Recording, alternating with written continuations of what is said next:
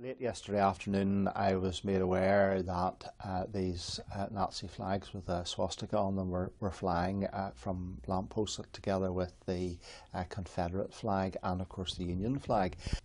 It was just an absolutely appalling situation to see those flags flying there.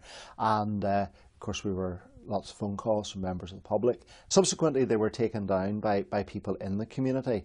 But the reality is that it has brought a great deal of notoriety to Carrickfergus. Carrickfergus has got so much uh, to give in terms of a place to come and visit, and certainly this is not the reason for it.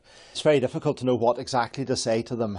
Um, the reality is that you need to reflect on what you have done. You should not have done it in the first place, and um, it has sent out a really nasty message from Carrickfergus and I think the community reaction has been absolutely right and proper and the flags are now down. There's more work to be done. Certainly I hope not only will it not happen between now and the 12th but I hope to never see a flag like that fly anywhere in Northern Ireland and my appeal is that we will have a calm and a peaceful event and those people who want to celebrate um, cultural activities through the bonfires and through the parades on the 12th of July.